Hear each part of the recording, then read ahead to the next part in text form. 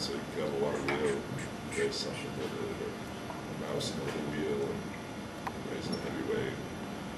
Um, we basically, Leonardo initially designed it in this style with the hook.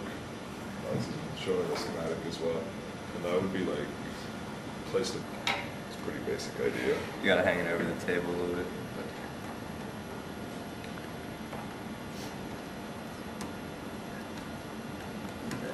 Got the other way going. Raise But we looked at that and said, in like a modern application, that's pretty useless.